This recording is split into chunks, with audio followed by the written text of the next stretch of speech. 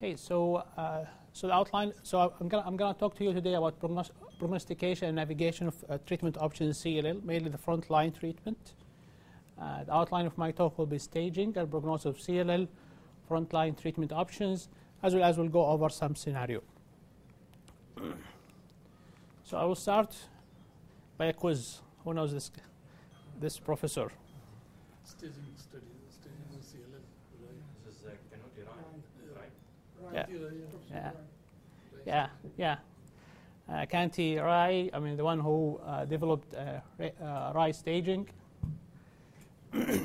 so uh, when we talk about uh, staging of CLL, so we do have a two famous. One is Rai staging, uh, which is more more adopted by the American hospitals, and Binet staging, which is adopted more by the European. Uh, Binet is a French physician. Yeah. So just what I what I just want to focus to highlight here is that uh, CLL is not an indolent disease. CLL is a heterogeneous disease. Uh, uh, the median survival varies a lot uh, between those with a low, low, low risk score uh, versus those with a high risk score, and uh, uh, the survival varies between more than 10 years down to around one or two years for those with a high risk disease.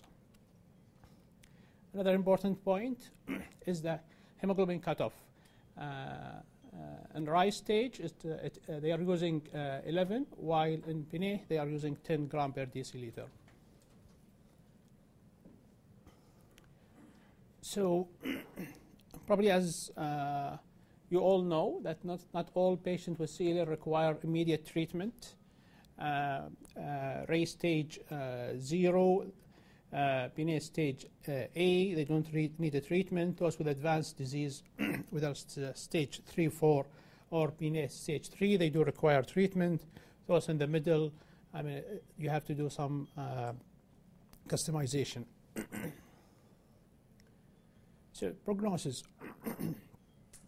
there, are there are many uh, markers uh, to look at the prognosis of CLL. Um, uh, uh, the staging is one of them. Uh, the pattern of, the uh, of lymphocyte infiltration in the bone marrow is another one. Lymphocyte doubling time, CD38, IG, uh, IgHV, uh, ZAP70, cytogenetic is another uh, important markers. and don't forget the P53. So P53, operation is an important uh, predictor uh, for the outcome.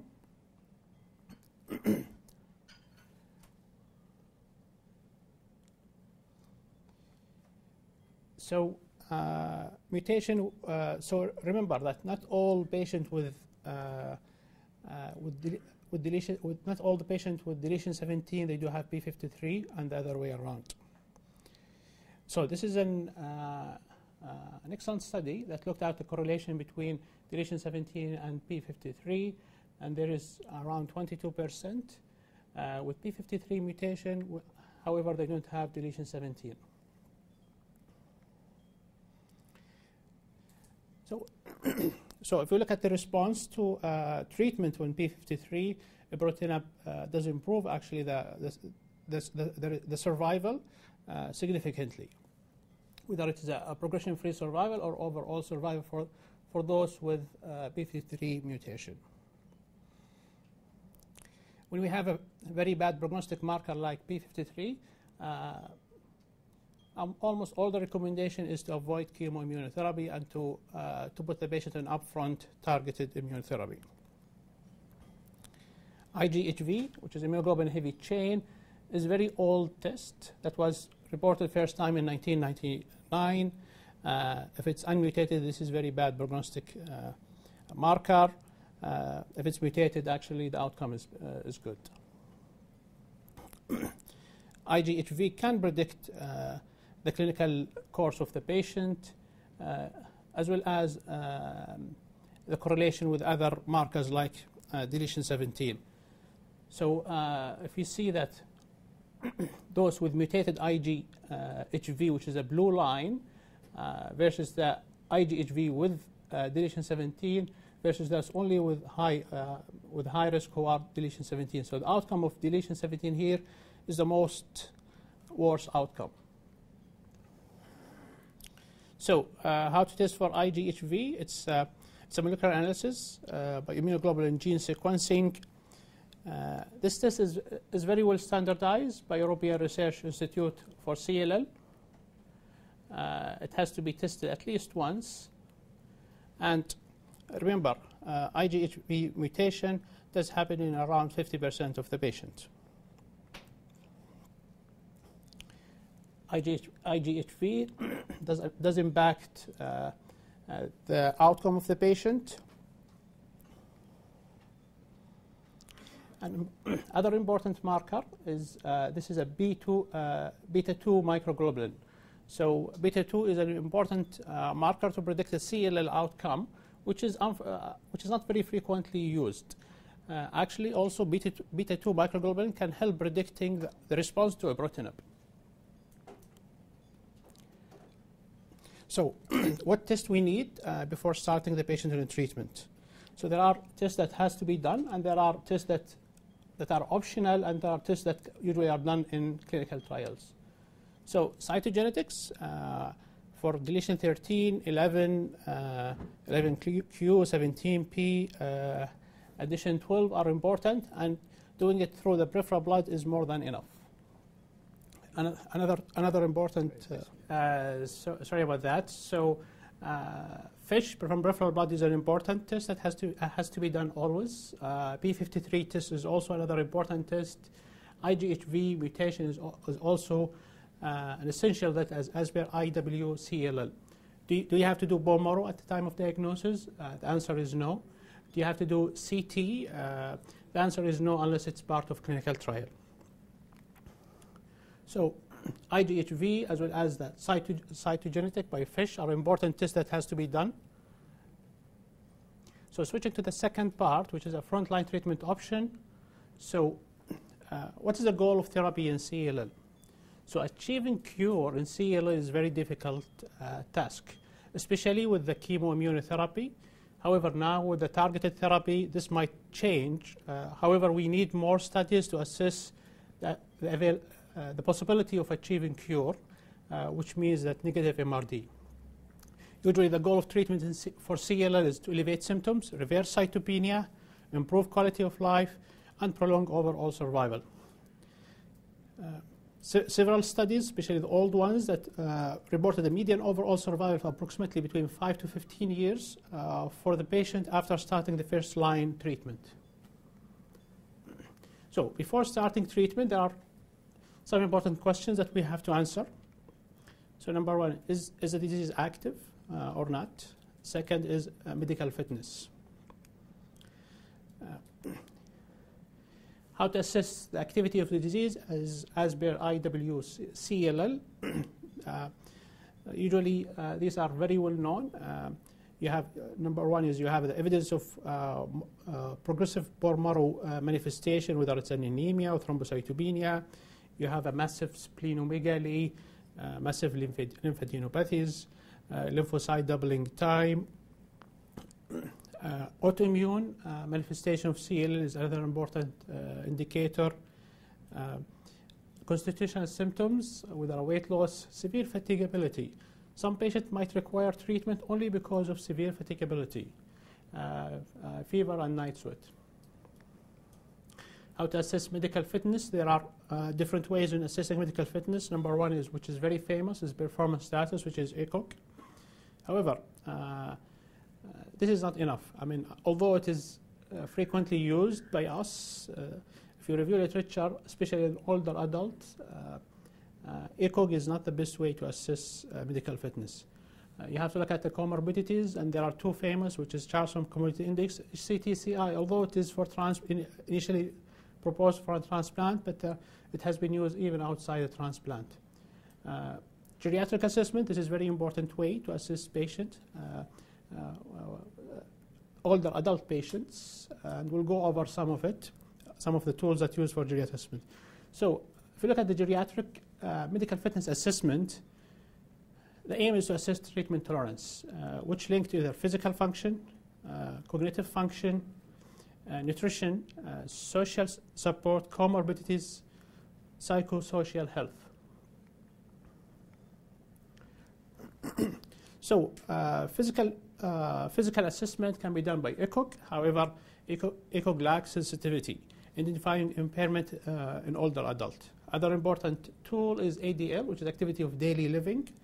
Uh, it is by assessing the self-feeding, dressing, content, grooming, transferring, using the bathroom, uh, IADL, instrument activity of daily living, is another way.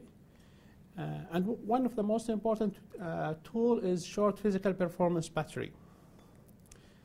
Uh, again, uh, ECOG is unable to differentiate uh, patients with subclinical vulnerability from those who are fit.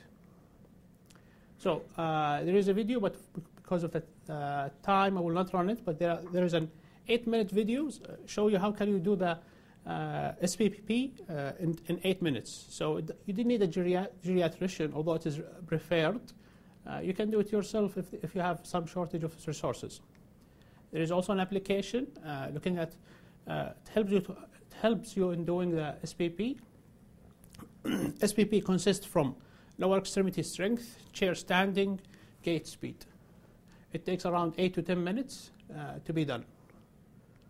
Uh, and then, uh, after doing the test, I mean, patient will be categorized uh, into either severe limitation, moderate, mild, or minimal, uh, uh, uh, minimal reduction of the test. Another important tool. So the first one was for physical assessment. The second one for older adult is a cognitive function. The most famous one is a 3MS, which is a mini mental state examination. Uh, it's a validated screening tool to assess global cognition. Uh, the score is between 0 to 100. If it's less than 77, this- then there is an impairment. Uh, 3MS as well as SPPB are important predictive variables for outcome in older patients. It's not, not only in CLL but also across other uh, malignancy, uh, including hematological malignancies.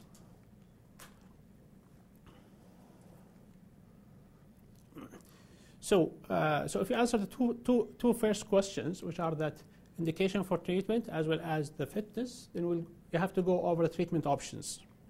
So if you have a, uh, if you have a patient who is, uh, so this is NCCN uh, 2020 guidelines.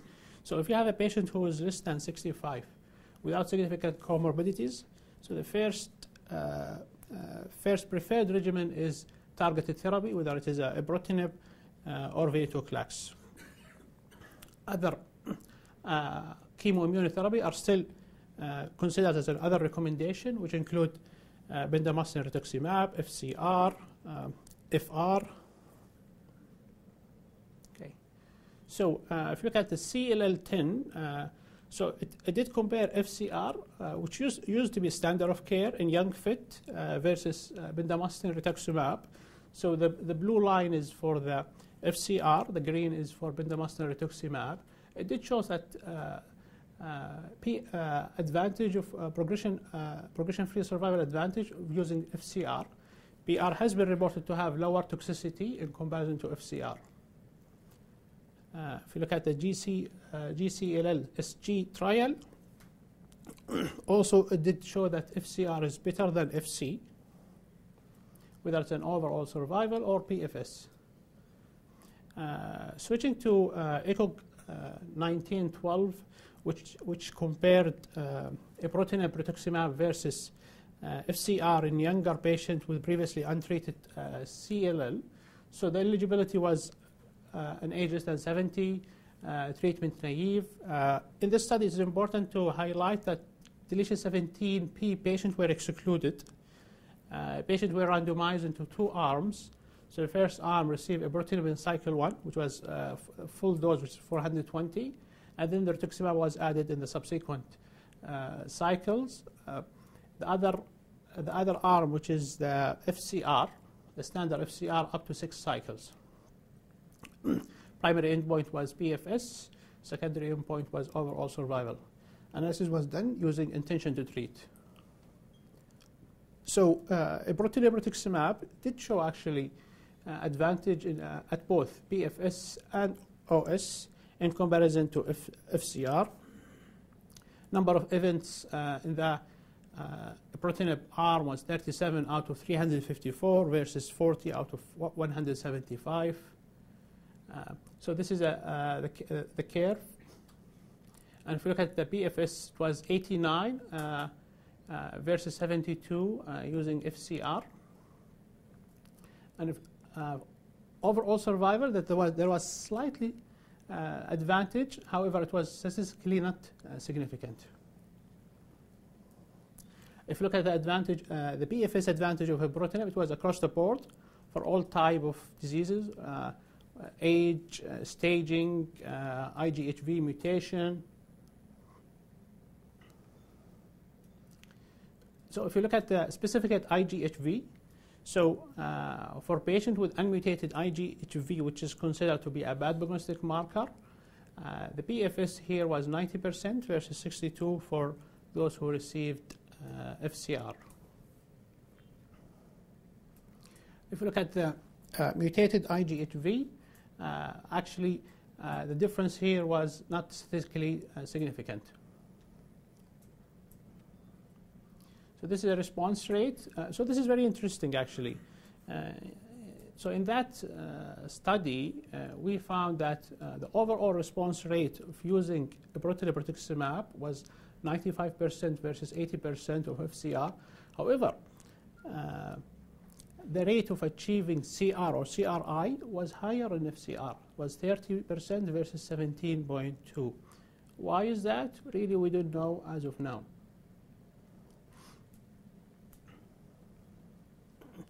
Uh, if you look at the safety of, uh, of using uh, ibrutinib uh, versus FCR, uh, overall it was uh, safer with, lex- with less toxicity.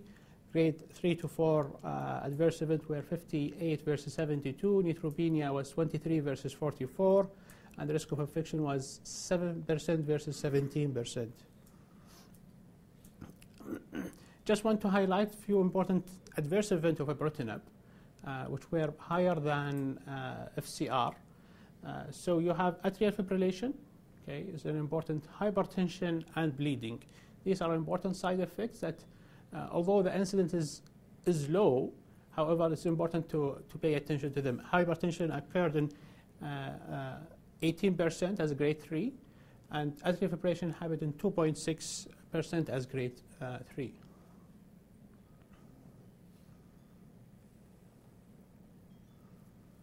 So, uh, on that study, the authors concluded that combination of ibrutinib and rituximab provides superior PFS and OS uh, relative to FCR for patients with previously untreated CLL age uh, less, less or equal 70 years old. Another quiz. I'm pretty simple, uh, or very famous people. this is Binet. Yeah, this is Binet. Got the rifles and. Yeah. So there's been A. Uh, so uh, moving uh, forward to the second type of the patient, who, which include the frail patient or those who are above 65 years old. So the preferred regimen again is targeted therapy, whether it is ibrutinib uh, or venetoclax uh, obinutuzumab. Other recommendations include uh, uh, BR, chlorambucil, uh, uh, rituximab alone. So, uh, so this is a uh, phase three uh, prospective randomized study, uh, which is CLL11. Uh, so they looked at progression-free survival, as well in combat between rituximab chlorambucil versus obinutuzumab chlorambucil. And ibrutinib chlorambucil was superior than rituximab chlorambucil when it comes to PFS. However, in OS, it was uh, it was statistically not significant. Uh, Regine uh, 2 study, uh, it, it did look at uh, ibrutinib versus chlorambucil in uh, treatment-naive CLL with a median follow-up of 60 months. Uh, 58 patients remain on the therapy, and it did show that ibrutinib progression-free survival for, for patients who were on ibrutinib was 70%, uh, uh, uh, while the OS was 83 versus 68, and 57 patients were crossed from chlorambucil to ibrutinib uh, after disease progression. And the benefit was across the, across the board for all uh, genomic subgroups.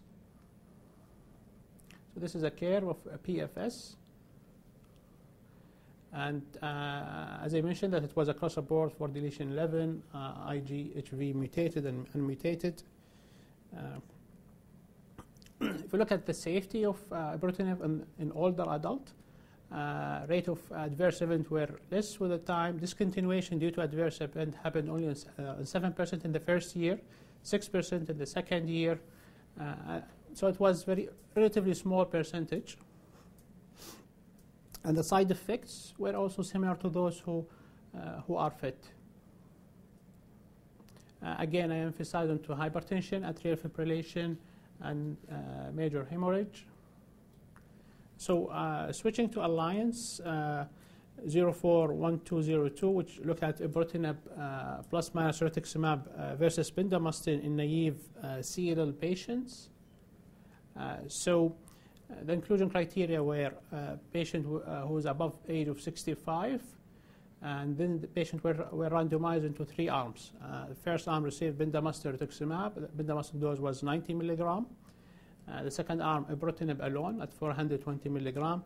Uh, the third arm was ibrutinib plus rituximab.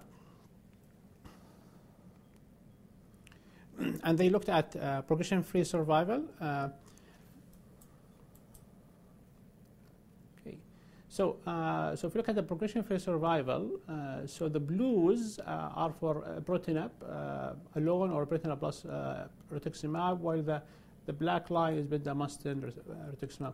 So there is very clear uh, advantage uh, of using uh, ibrutinib in comparison to BR as a, uh, as a progression-free survival. However, the addition of rituximab did not improve the PFS. If you look at the overall survival, actually it was not statistically significant. Uh, again, looking at the, uh, the adverse event, uh, so so all hematological uh, side effects, which is grade 3 and above, it did happen in 60 per, 60% of uh, patients who received BR versus uh, 40 to 38 for those with ibrutinib plus minus rituximab. Uh, non-hematological toxicity, which include bleeding, it did happen only on, uh, on, on 2% in, uh, uh, in ibrutinib arm versus nil and BR.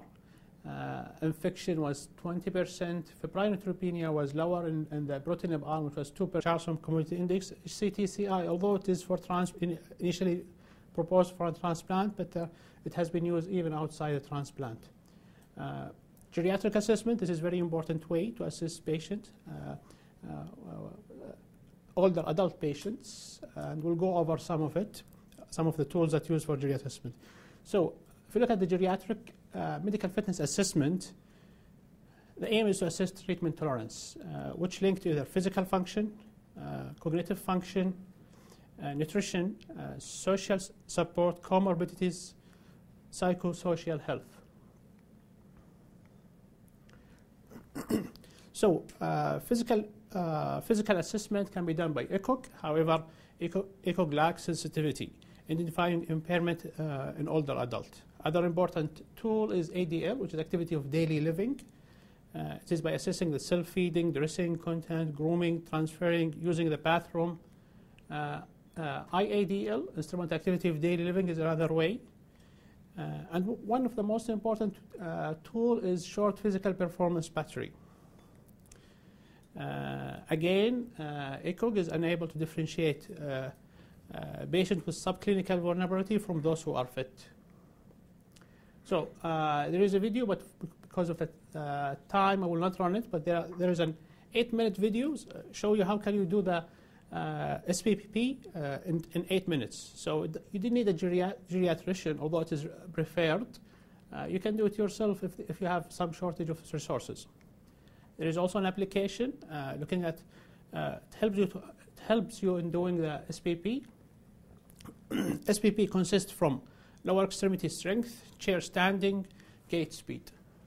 It takes around 8 to 10 minutes uh, to be done. Uh, and then, uh, after doing the test, I mean, patient will be categorized uh, into either severe limitation, moderate, mild, or minimal, minimal reduction of the test. Uh, another important tool. So the first one was for physical uh, assessment. The second one for older adult is a cognitive function. Uh, the most famous one is a 3MS, which is a mini mental state examination. Uh, it's a validated screening tool to assess global cognition. Uh, the score is between 0 to 100. If it's less than 77, this, then there is an impairment. Uh, 3MS as well as SPPB are important predictive variables for outcome in older patients. It's not, not only in CLL but also across other uh, malignancy, uh, including hematological malignancies.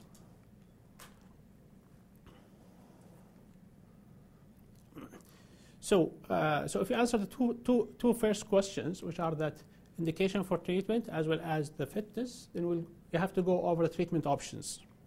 So if you have a, uh, if you have a patient who is, uh, so this is NCCN uh, 2020 guidelines. So if you have a patient who is less than 65 without significant comorbidities, so the first, uh, uh, first preferred regimen is targeted therapy, whether it is a ibrutinib uh, or venetoclax. Other chemoimmunotherapy are still considered as another recommendation, which include uh, bendamustine rituximab, FCR, um, FR. Okay. So uh, if you look at the CLL10, uh, so it, it, did compare FCR, uh, which used, used to be standard of care in young fit uh, versus uh, bendamustine rituximab. So the, the blue line is for the FCR, the green is for bendamustine rituximab. It did show that uh, P, uh, advantage of uh, progression, progression-free survival advantage of using FCR.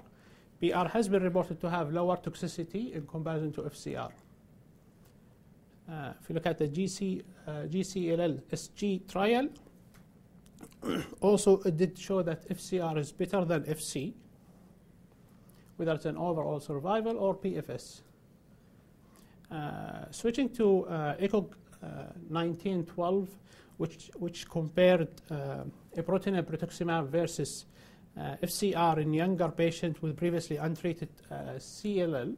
So the eligibility was uh, an age less than 70, uh, treatment naive. Uh, in this study, it's important to highlight that deletion 17p patients were excluded. patients were randomized into two arms. So the first arm received ibrutinib in cycle one, which was full dose, which is 420 and then the rituximab was added in the subsequent cycles. The other the other arm, which is the FCR, the standard FCR, up to six cycles. Primary endpoint was PFS. Secondary endpoint was overall survival. Analysis was done using intention to treat. So uh, rituximab did show actually uh, advantage in, uh, at both PFS and OS in comparison to F FCR. Number of events uh, in the uh, ibrutinib R was 37 out of 354 versus 40 out of 175. Uh, so this is a, uh, the, uh, the curve. And if we look at the PFS, it was 89 uh, versus 72 using FCR. And if, overall survival, that there was, there was slightly uh, advantage. However, it was statistically not uh, significant. If you look at the advantage, uh, the PFS advantage of ibrutinib, it was across the board for all type of diseases, age, staging, IGHV mutation,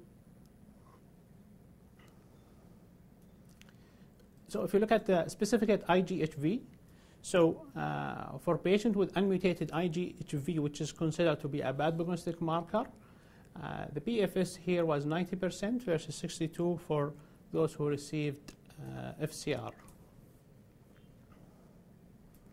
If you look at the uh, mutated IGHV, uh, actually uh, the difference here was not statistically significant. So this is a response rate. Uh, so this is very interesting, actually.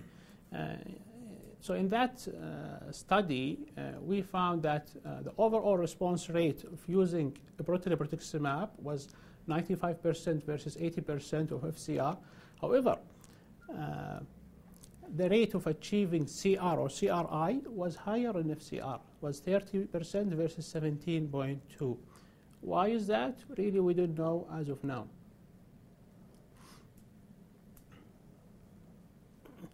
Uh, if you look at the safety of, uh, of using uh, uh versus FCR, overall it was uh, safer with with less toxicity. Grade 3 to 4 uh, adverse event were 58 versus 72. Neutropenia was 23 versus 44. And the risk of infection was 7% versus 17%. Just want to highlight a few important adverse events of ibrutinib, uh, which were higher than uh, FCR. Uh, so you have atrial fibrillation, okay, is an important hypertension and bleeding. These are important side effects that, uh, although the incidence is, is low, however, it's important to, to pay attention to them. Hypertension occurred in uh, uh, 18% as grade 3, and atrial fibrillation happened in 2.6% as grade uh, 3.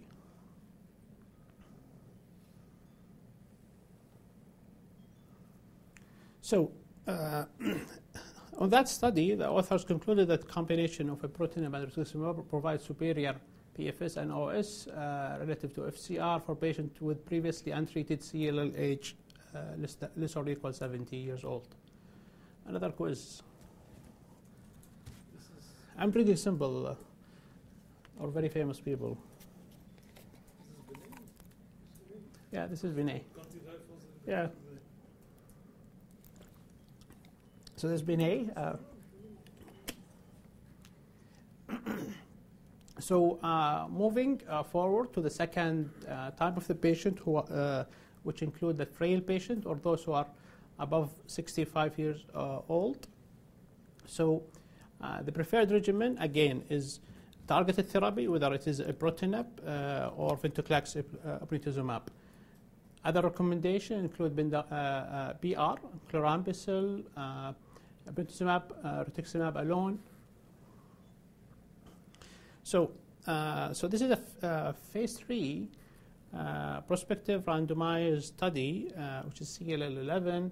Uh, so they looked at progression-free survival, as well in combat between rituximab chlorambucil versus obinutuzumab chlorambucil.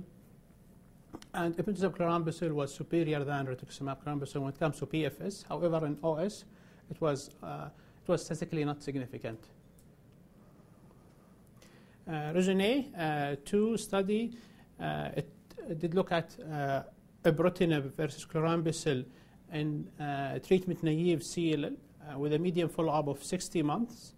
Uh, 58 patients remain on the therapy, and it did show that ibrutinib progression-free survival for, for patients who were on ibrutinib was 70%, uh, uh, uh, while the OS was 83 versus 68, and 57 patients were crossed from chlorambucil to ibrutinib uh, after disease progression. And the benefit was across the, across the board for all uh, genomic subgroups. So this is a curve of uh, PFS. And uh, as I mentioned, that it was across the board for deletion 11, uh, IGHV mutated and unmutated. Uh, if we look at the safety of uh, ibrutinib in, in older adult, uh, rate of adverse event were less with the time. Discontinuation due to adverse event happened only on uh, 7% in the first year, 6% in the second year. So it was very relatively small percentage. And the side effects were also similar to those who, who are fit. Uh, again, I emphasize on to hypertension, atrial fibrillation, and uh, major hemorrhage. So uh, switching to Alliance uh, 041202, which looked at ibrutinib uh, plus minus rituximab uh, versus bendamustine in naive CLL patients. So the inclusion criteria were patient who, who is above age of 65, and then the patients were, were randomized into three arms. Uh, the first arm received bendamustine rituximab. Bendamustine dose was 90 milligram. Uh, the second arm, ibrutinib alone at 420 milligram. Uh, the third arm was ibrutinib plus rituximab. and they looked at progression-free survival. Uh, okay, so uh, so if you look at the progression-free survival, uh, so the blues uh, are for ibrutinib uh, alone or ibrutinib plus uh, rituximab, while the The black line is bendamustine, uh, rituximab. So there is very clear uh, advantage uh, of using uh, ibrutinib um, in comparison to BR as a, uh, as a progression-free survival. However, the addition of rituximab did not improve the PFS. If you look at the overall survival, actually it was not statistically significant. Uh, again, looking at the, uh, the adverse event, uh, so so all hematological uh, side effects, which is grade 3 and above, it did happen in 60 per, 60% of uh, patients who received BR versus uh, 40 to 38 for those with ibrutinib plus minus rituximab. Uh, non-hematological toxicity, which include bleeding, it did happen only on, uh, on, on 2% in, uh, uh, arm versus nil and BR. Uh, infection was 20%. Febrile neutropenia was lower in, in the ibrutinib arm, which was 2% versus 7. Uh, atrial fibrillation, 9% uh, versus uh, 3% in the BR. Hypertension was 29% versus 14 in the BR. So, uh, so in this study, uh, the authors concluded that uh, in this inter- international prospective randomized phase 3 trial, it showed uh, produced superior PFS to, to a standard uh, treatment in older patients with CLL and justify it as a new standard of care uh, for patients who are above 65 and older.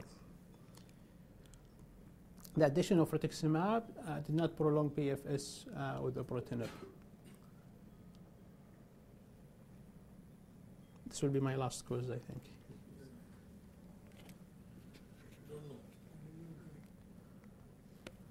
So this is uh, Professor Richter.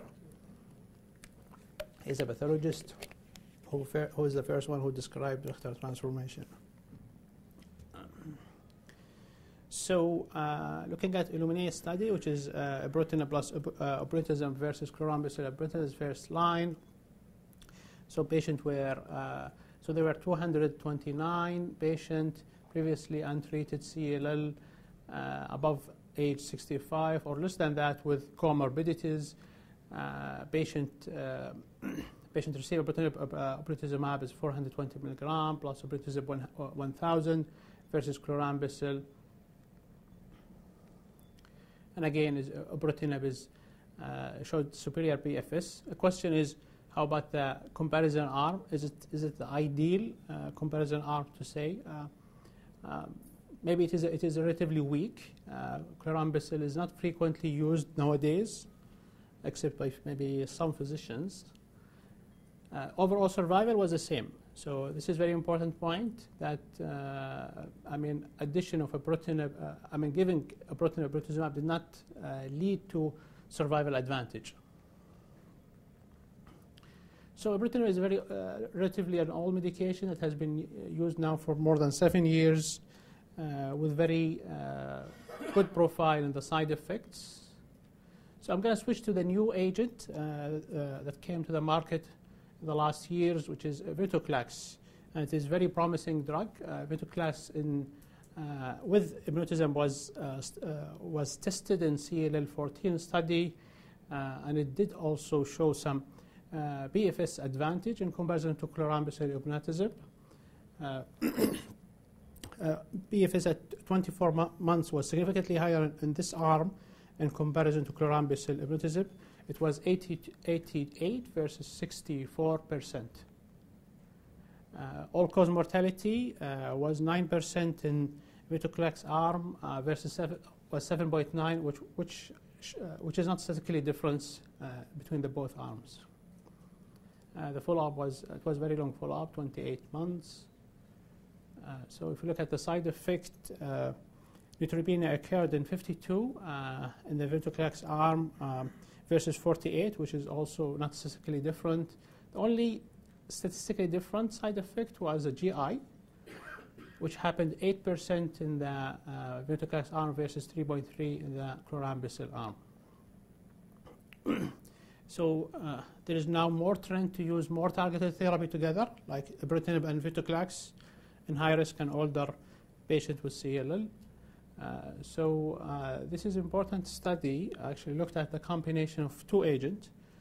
So the first uh, column does show you that uh, response to treatment uh, after three, cycle of, three cycles of ibrutinib alone.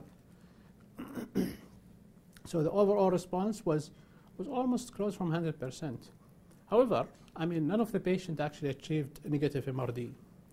Uh, addition of venetoclax after three uh, uh, addition of uh, venetoclax with ibrutinib after three cycles helped in achieving MRD uh, negativity in 17 uh, percent, and the percentage of MRD negativity kept increasing with the with the longer duration of combined medications. So uh, ibrutinib plus uh, venetoclax uh, in a first-line treatment was tested in Cap- Captivate study. So there were 164 patients who were treatment naive, less than age of 70 years, with an excellent performance status.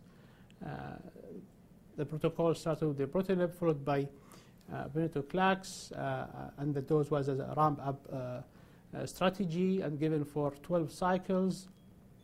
And then, then they compared that uh, undetectable MRD uh, versus those with, uh, so those with uh, undetectable MRD, they continued in ibrutinib. Those with undetectable MRD, they continued in ibrutinib plus venetoclax. Uh, it's important that to, to, uh, to look at the risk of tumor lysis. Uh, using ibrutinib at the upfront help reducing the risk of tumor lysis as well as shrinking the lymph, lymphadenopathies. Um, so this is the MRD. Uh, so uh, at, the, at the beginning, uh, so it was more than 1% in almost all peripheral blood MRD. In the first column was 93 that, uh, percent had an MRD positivity. However, the percentage uh, kept, kept getting less with the time and, until we reached 93 with negative MRD. So we'll just, uh, the last part of my talk will be a scenario. So this is uh, a 55 years old male who was who presented with upper respiratory tract infection uh, and lymphocytosis. Uh, after uh, after several months of follow-up, lymphocytosis persists. Uh, he does have comorbidities of being CO- COPD, obstructive sleep apnea, excellent performance status. So uh, after persistent lymphocytosis, he underwent investigation, uh, including immunophenotype from the peripheral blood, which was consistent with CLL, CD19, CD5, CD20, 23, FMC7. Uh, physical exam uh, did not uh, reveal any massive lymphadenopathies. So he was diagnosed as asymptomatic CLL. Um, he stayed under observation or watch and wait approach for two years. However, he started to have abuse symptoms uh, and increase, increasing, uh, increasing size of lymphadenopathies. Uh, and the patient also wants to be in treatment. So what should you do? More tests, start treatment, uh, watch and wait.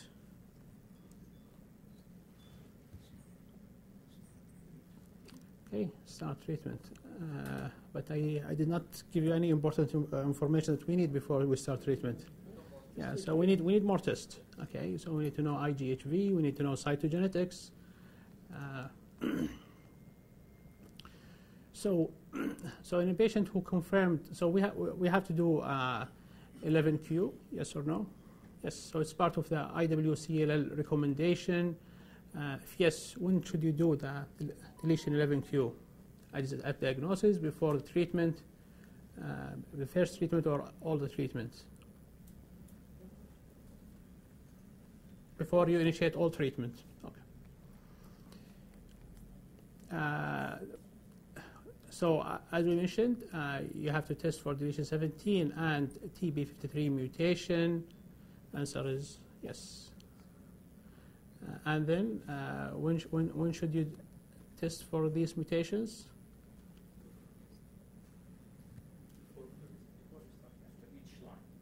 After each line, before you initi- initiate all treatment. Okay, uh, because it has a, uh, it, it has a, uh, it will change your pra- practice actually. Uh, the treatment that you might offer the patient will depend on it. So how do you do deletion 17 or TP53 mutation? Is it conventional, fish, Sanger technique, NGS?